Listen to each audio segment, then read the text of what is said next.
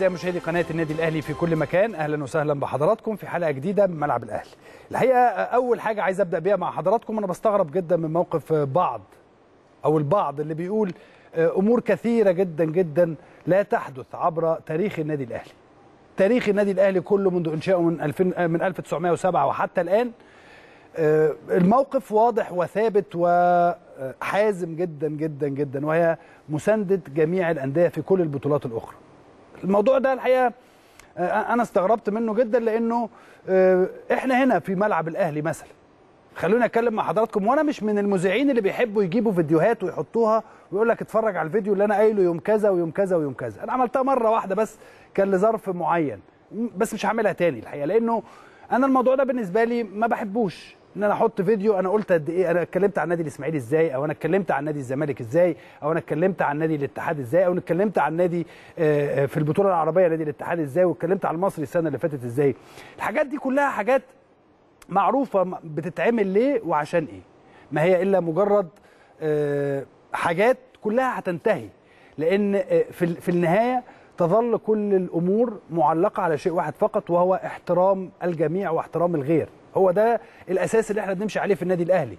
هو ده الأساس اللي إحنا دايما بن بنتربى عليه في النادي الأهلي. الناس اللي اتربت في النادي الأهلي عارفة الكلام ده كويس جدا وعارفة قد إيه إحنا بنحترم الغير وقد إيه إحنا بنحترم كل الفرق الأخرى التي تلعب في أي بطولات أفريقية. قد يكون البعض متخيل إن هو عشان بيعمل كده فمتخيل النادي الأهلي ممكن يفكر بهذا الشكل أو إن قناة النادي الأهلي ممكن تفكر بهذا الشكل ولكن الحقيقة إن ده مش طبيعي وده مش صحيح. دايما لما بنيجي نفكر ولما بنيجي نتكلم بنتكلم من منطلق المصلحة العامة للبلد. المصلحة العامة للبلد. في حلقة أول أمس الحقيقة وأنا كنت قاعد اتكلمت عن إن نادي الزمالك ادى مباراة رائعة في مباراته أمام جورماهيا وتصدر مجموعته واستطاع أن يفوز على جورماهيا بأربعة أهداف مقابل لا شيء. وده ده فيديو على فكرة. ده فيديو موثق وليس شيء آخر. من أسبوعين ثلاثة عندما كانت هناك مشكلة في النادي الإسماعيلي أو عند النادي الإسماعيلي أكتر واحد كنت متأثر بهذا الموضوع مش أنا أنا على فكرة لما باجي أطلع أتكلم بتكلم بلسان قناة النادي الأهلي أو بلسان ملعب الأهلي البرنامج اللي أنا بشتغل فيه. ودايما لما بنيجي نتكلم بنبقى عارفين إيه هي المصلحة العليا. المصلحة العليا اللي هي مصلحة البلد قبل أي شيء ومصلحة بعد كده تيجي بقى مصلحة الأهلي وتيجي مصلحة بقية الفرق. فلما بنيجي نتكلم بنتكلم من منطلق المصلحة العليا والمصلحة العليا دي بتحكم النادي الأهلي من سنة 1907 وحتى الآن. مش جديدة. مش جديدة ولا غريبة ولا فيها أي حاجة من الكلام. كل الكلام اللي بيتقال وكل الكلام اللي طالع من امبارح للنهاردة هو كلام الحقيقة أنا بعتبره يعني هو نجاح للبرنامج. اولا هو نجاح للبرنامج الحقيقة لأنه من الواضح إن إن في ناس كتيرة جدا بتتفرج على هذا البرنامج. ده حاجة تسعدني جدا جدا. عشان كده أنا طالع أقول لحضراتكم إن إحنا ما بنعملش حاجة غريبة. إحنا بنعمل اللي اتعودنا عليه في النادي الأهلي. أو حتى لو الواحد جاي من بره الناس هتقول كده. ما أنت جاي من بره على النادي الأهلي. يا جماعة اللي بيخش النادي الأهلي اللي بيخش النادي الأهلي صدقوني بيتغير 180 درجة. ولو ما اتغيرش وبقى كأنه معجون من جوه مية النادي الأهلي وتراب النادي الأهلي النادي الأهلي بيلفظه بيطلعه براه. هو النادي الأهلي وجمهوره كده طول عمره معروف. فعشان كده أنا بقول لحضراتكم إحنا متعودين على حاجة حاجة طبيعية. احترام الغير دي حاجة طبيعية. ما هو ياما بيتقال عليا أنا تحديدا وعلى ملعب الأهلي وعلى غيري من الزملاء. ولا حد بيتكلم ولا حد بيرد. عارفين ليه؟ لأنه إحنا متعودين على كده. متعودين إن إحنا لما نيجي نتكلم بنتكلم بكبرياء وبمنطق.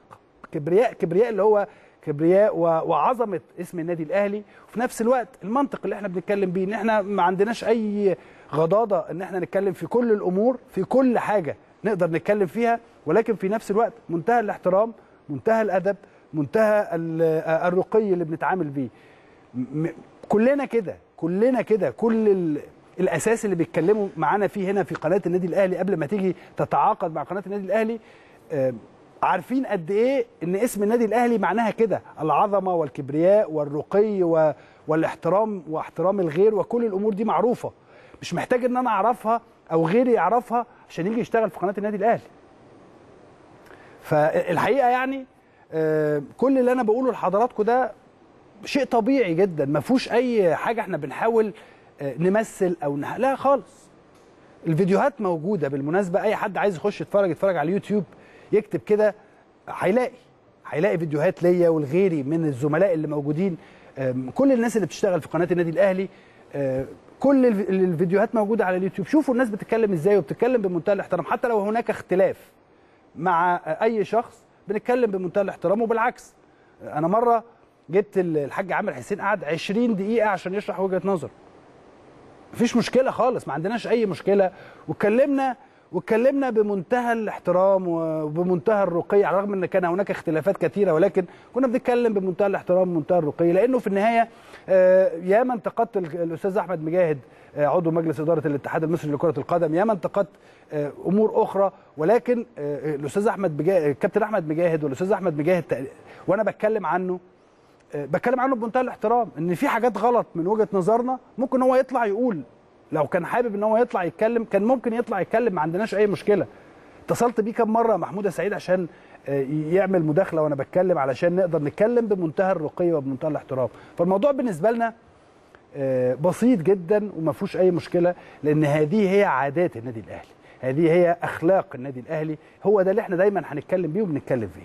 وبالمناسبة وأنا بتكلم خلال ال-